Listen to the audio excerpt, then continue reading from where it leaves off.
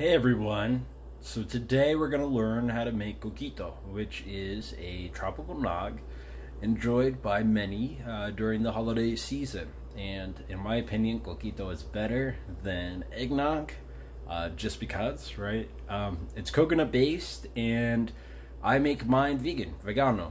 So that means that it is free of animal products, uh, which is beneficial to me as someone who is plant based. But, anyways, without further ado, let's get started. So, these are the ingredients that you'll need to make your coquito. So, here on the side, here we have nutmeg, we have allspice, we have whole cloves, and we have cinnamon sticks. And that's going to create our té or tea. And then here on the side, we have vanilla extract um, my preference is to use vanilla paste instead of extract. It just kicks your recipe up a notch, but of course we use what we got, right?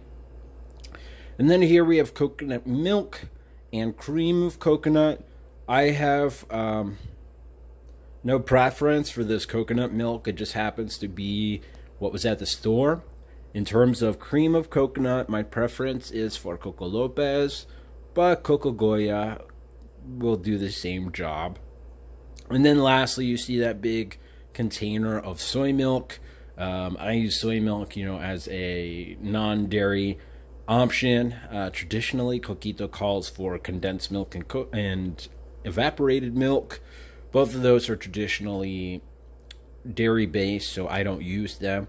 I have learned that they do make coconut based evaporated and condensed milk.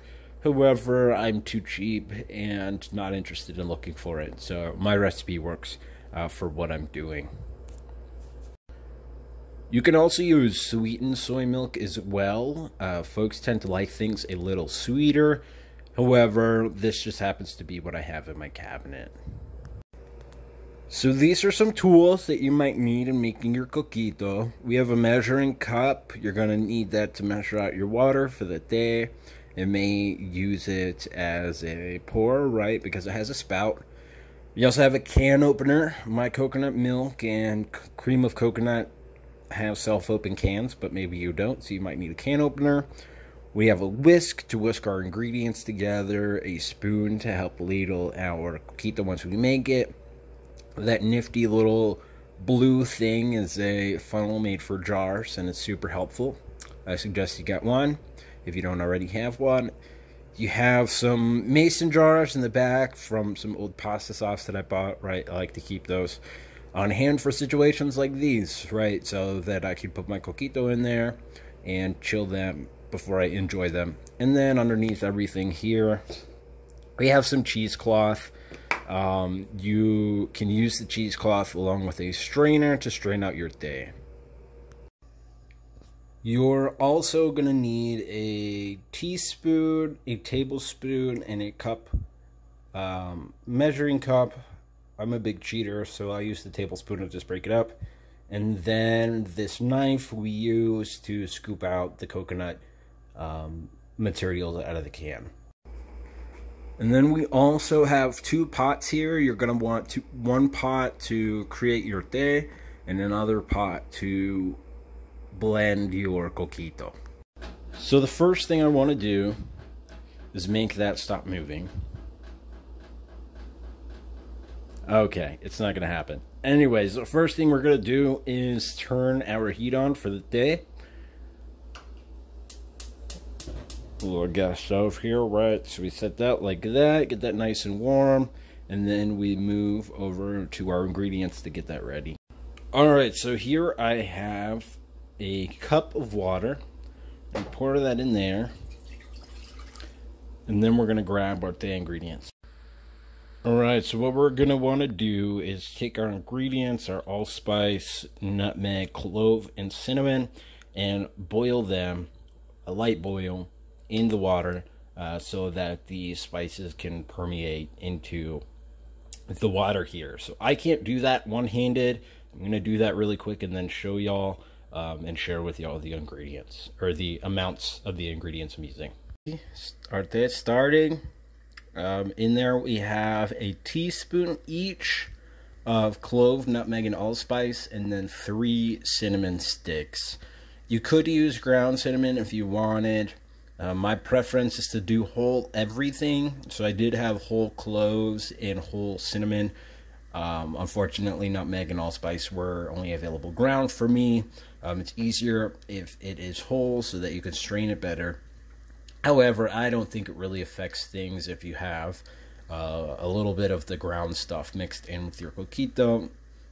Some people like it that way. But anyway, so we're gonna have we're gonna lower that to a simmer and let that melt together and then we're going to work on the coquito part. All right, so now we turned the stove or the um, stove on to about a two or three, right, so that we can blend our coconut milk, coconut cream, and vanilla and soy milk. When you open the cream of coconut, it's going to be kind of coagulated on the top here, which is exactly why I like to blend everything warm. You'll probably find some recipes where everyone throws everything in the blender, and I just like doing it this way. I feel like things blend together a little better. So you're going to need a knife or spoon or something to kick that goopy stuff out. So this is what the coconut cream is going to look like, or the cream of coconut, when you pour it out. You see that big clump of, I guess, coconut meat, and then all the milk and the sweet stuff there. So now we're adding the coconut, and you see here it kind of has that same goopy. We like the goopy, we just need to scoop it out. All right, so I know I know this looks super appetizing, but it will look delicious in a second. So we're going to heat this up, and you want to take your whisk and whisk and break some of that down so that you have something a little more consistent as things warm up and loosen up.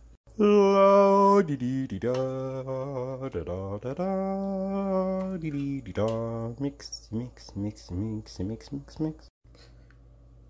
So now we have a cup of soy milk. I guess you can use um, this measuring cup or this one. But once we have the one cup, then we can go ahead and add the vanilla extract. We just put it, oh, that was loud.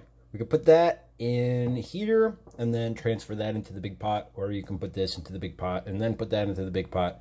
Just, you know, whatever tickles your fancy. So we see here, this is our coconut milk, cream coconut. It's boiling, so we could turn that down just a little bit, but you see those chunks have gone away. A little whiskey poo. You also start feeling some viscosity here. That's from that coconut fat. Just take that down like that. Beautiful.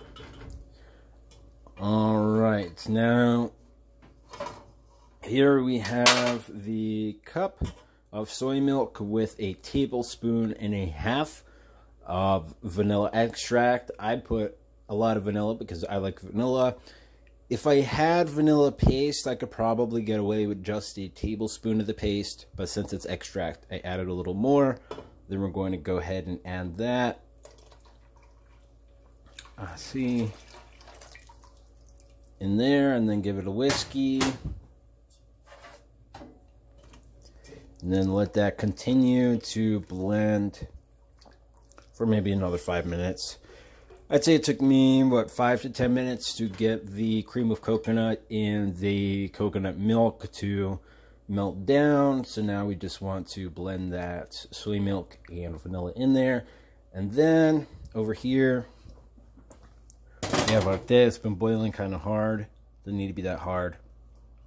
And this is another one that you could maybe simmer for about 10 minutes. But what we're going to do now is take the this, strain it out, and then put it with the bigger pot. So I suggest that you keep your cinnamon bark because I like to put them in the coconut jar to give it a little extra cinnamon flavor. And so, you know, why get new ones if we have those already? So this reduced down to about a half a cup, a little less than a half a cup if you count the cinnamon sticks in there. But now what I want to do is not directly pour it in there because we have, you know, the grit and stuff from the tea. what you can do is take a strainer and some cheesecloth and, um, you know, strain it that way. What you can also do is use your media and use that to make your coffee.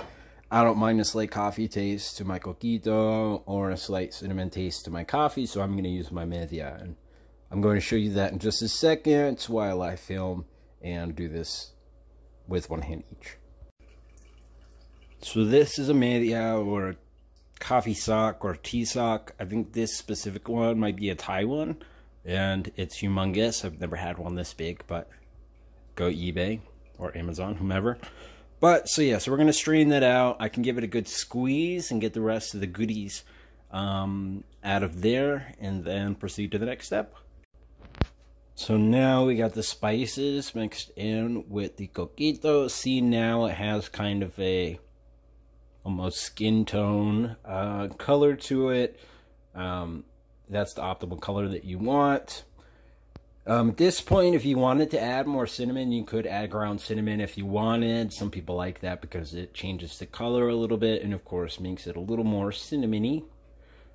If you wanted to add rum uh, to your coquito, I would do so at this stage. Um, some people do a mix of dark rum and white rum. Um, some just pick one or the other. Um, what I've been doing is just using a spiced rum or, you know, aged rum and then adding maybe three quarter cup to a cup, um, just depending on how the flavors are. Of course, if you use more sweetened things, you may be able to get away with more rum in there um, so that it's not as pungent. Uh, you could go, I guess, as far as two cups of rum if you were really feeling froggy. But this batch is going to be a virgin batch, so I'm not going to add any rum. So now what I'm going to do is start preparing it for fridge storage. So you see here I have my mason jar. I added those three cinnamon sticks in there. And then this handy dandy um, funnel. It was less than five bucks and definitely worth it. But anyway, so we're going to go in here give it a stir with our ladle and then we can go ahead and start